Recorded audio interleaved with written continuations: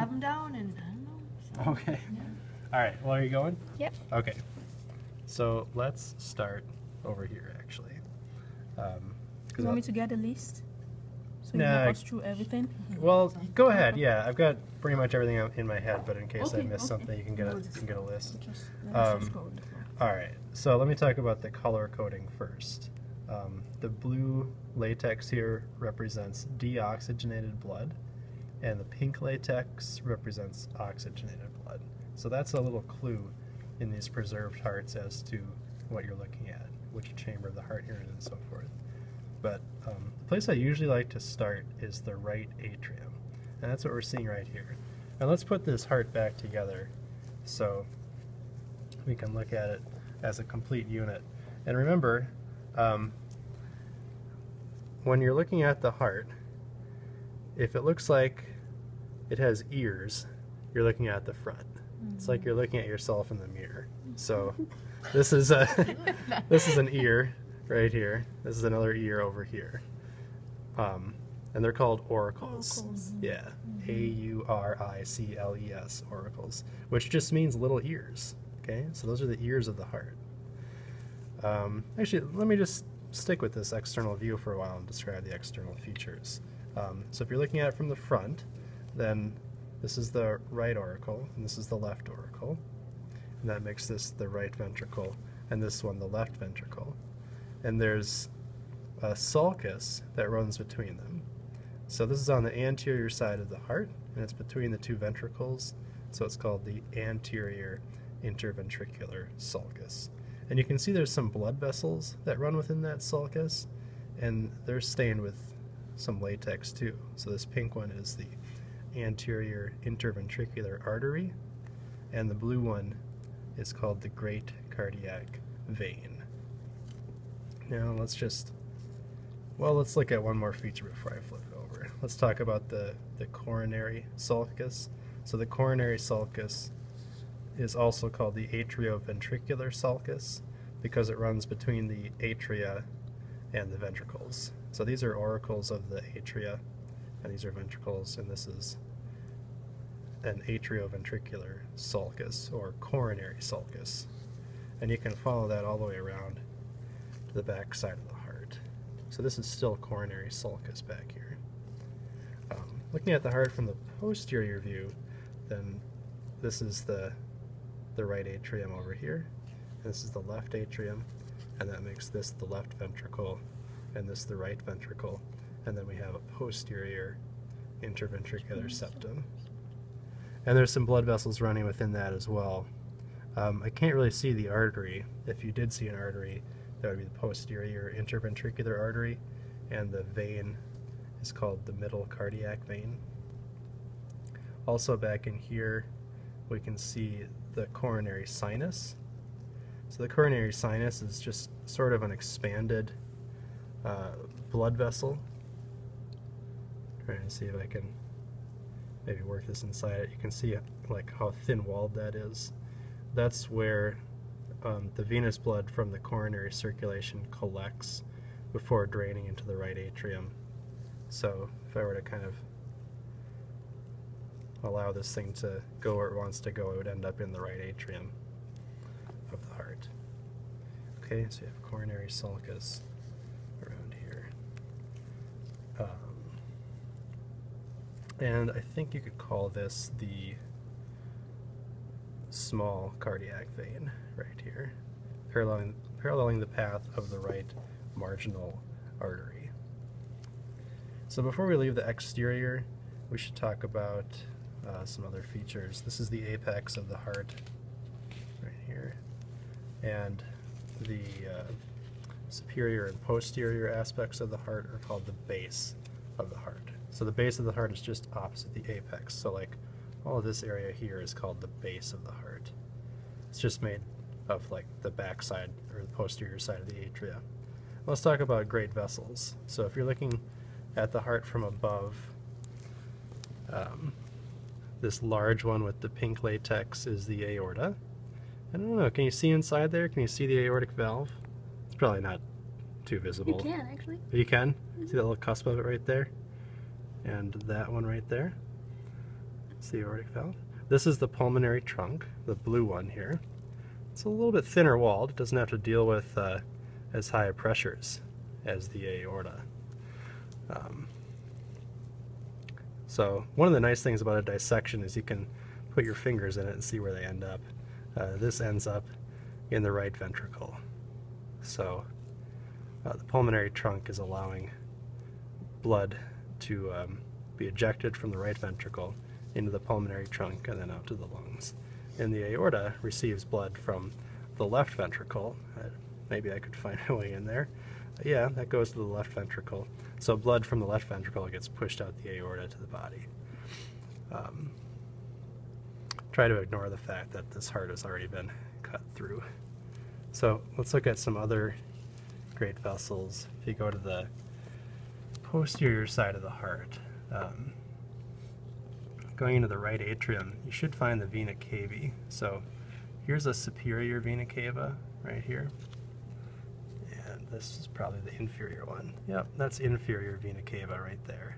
So again, um, if you use your fingers, you can see they both end up in the right atrium. And my fingers are touching each other right now, so I know I'm in the same chamber.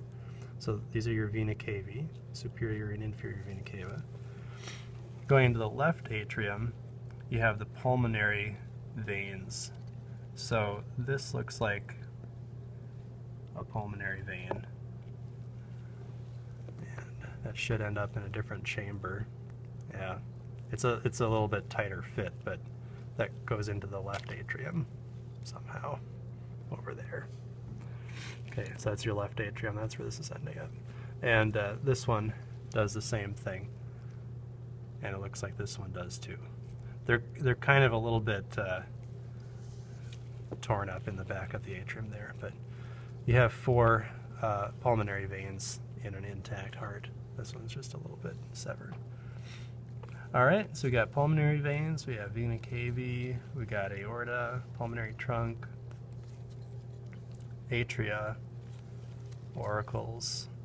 Um, talked a little bit about blood vessels. You can't really see the uh, right and left coronary arteries just because I think they're buried in too much fat in this heart, and they're and they're a lot smaller than the coronary veins. So you can actually follow the great coronary vein, or excuse me, the great cardiac vein, up the anterior interventricular sulcus and then over. And that drains into the coronary sinus. So just this great cardiac vein follows the course of the coronary sulcus around the posterior side, and then it's in the coronary sinus. Then that opens up into the right atrium. So let's uh, let's go ahead and open it up. All right. So once the heart is opened up, um, you can see this really thick layer of myocardium here. That's the interventricular septum, the septum that divides the two ventricles. And I think the fastest and easiest way to tell the ventricles apart is just to see which one has the thickest walls. Um, so you can, I think, clearly see this one is thicker walled than this one, because that's a thinner wall there. So the, the thicker walled ventricle is the left ventricle. So this is the left ventricle, and this is the right ventricle. And remember, in these preserved hearts, they're color-coded. So the left ventricle pumps out oxygenated blood, so occasionally you'll find these little bits of pink latex that represents oxygenated blood. And the right ventricle pumps out deoxygenated blood, so some, sometimes you find this blue latex for deoxygenated blood. And let's talk about um, blood flow through the heart and valves. So we know that, let's just start with the vena cava. We know that blood flows into the right atrium through the superior and inferior vena cava. So go around to the back here, here's the superior vena cava. And uh, you can see that I've ended up in this chamber of the heart here. That's the right atrium. Um, and if you look closely at the right atrium, you see that the, the walls are not smooth, they're ridged. So these ridges are called pectinate muscles. And there's this valve that controls the flow of blood from the right atrium to the right ventricle. You could simply call this the right atrioventricular valve. That's the easiest name to remember. Um, it's also known as the tricuspid valve for having three cusps. And we have at least one cusp right here. Um, possibly, possibly two cusps over there. This is definitely a cusp over here. It's sort of hard to tell where one cusp leaves off and the other one begins, but it looks like there's like two sets of papillary muscles. Um, so maybe this would be one of the cusps over here. Or, oh, there it is. Looks like this is one of the cusps right here. Here's another cusp right here, and then the third cusp is over here. So that's your tricuspid valve. Um, and then we have these uh, chordae tendineae, or tendinous cords, that run from the papillary muscles, that's a papillary muscle, to the cusps of the AV valves. Okay, so chordae tendineae, papillary muscle. And the job of these is to prevent prolapse of uh, the AV valves. So when the ventricles contract and increase blood pressure inside the ventricles, uh, kind of swishing down like this, these valves are prevented from uh, folding backwards into the atria. Uh, maybe it's too hard to demonstrate with this. Um, anyway, let's continue to follow the flow of blood. So, um, let's say the right ventricle contracts. It's going to push blood out through the pulmonary trunk, which we'll, we'll have to go over to this side to see that. Okay. There's some really interesting trabeculae carneae in here. I should mention those as well. So the ridges of the um, atrial myocardium are called pectinate muscles, and in the ventricular myocardium they're called trabeculae carneae. Those are trabeculae carneae ridges there, and over here, and over here. Okay. Anyway, let's continue on with the path. So we're in the right ventricle here, and um, when that contracts, it's going to push blood out through the pulmonary trunk. So we'll see if, uh, if in fact that's where it's headed. If you can look right inside there, you can see the blue from my index finger. Mm-hmm. You see that? I saw it a couple times. All right. So anyway, that's the pulmonary trunk. Um, oops, I got a little red latex in there that doesn't belong there. I don't know if you can see. Can you see the pulmonary valve a little bit? Uh, yeah, just a little. Yep. Just a tiny bit. Mhm. Okay, so that's the pulmonary semilunar valve. That ensures that blood flows just from the right ventricle into the pulmonary trunk.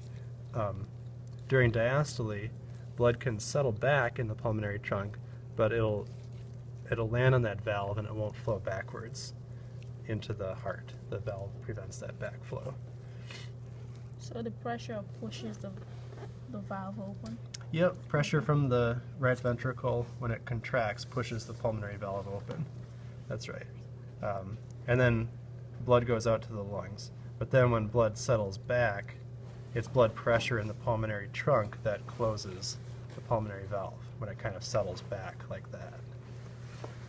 Um, so let's say blood goes out to the lungs, goes from the pulmonary trunk out to the lungs, comes back to the heart, it'll come back into the left atrium as oxygenated blood. Um, so let's find the left atrium. Here's a bit of it here. Here's a bit of it over here. I don't know if there's a good uh, example of some pulmonary veins. Well, like this, it's kind of ripped open, but these would be pulmonary veins allowing blood back into the left atrium. Right, and then from the left atrium into the left ventricle, the flow of blood is controlled by the bicuspid valve or the left atrioventricular valve. And uh, this valve, just like the tricuspid valve, is attached by chordae tendineae to papillary muscles. But you notice everything is bigger on the left side of the heart, right? Bigger valve, bigger chamber, longer chordae tendineae, bigger papillary muscles, uh, thicker walled myocardium. It's because it has a much bigger job to do. It has to pump blood out to the entire body through the aorta. So when this ventricle contracts, this left ventricle, um, it's going to push blood up through the aorta. And here, the way this has been dissected, you can actually see two cusps of the aortic valve really, really easily. Here's one. Here's a second one. And the third one is over here. so whoever cut this uh, sliced right through the aortic valve. Okay, so three cusps of that semilunar valve. So then, I guess we can go back here. So then blood flows out through the aorta, goes to the body, and then uh, it'll come back through the vena cava, uh, like this one, like the superior vena cava, and then you're you're back into the right atrium. Um, and that is the journey through the heart.